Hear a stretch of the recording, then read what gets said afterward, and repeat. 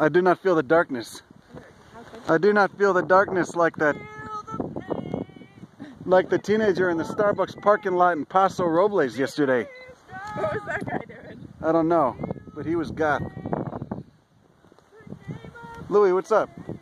You got something on your ass? What are you doing? You got something on your ass, Louis? Come here. God, you're filthy. Look at those ears.